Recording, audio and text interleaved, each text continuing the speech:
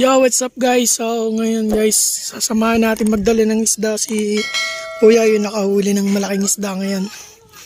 So, papunta na tayo. Tara na, let's go!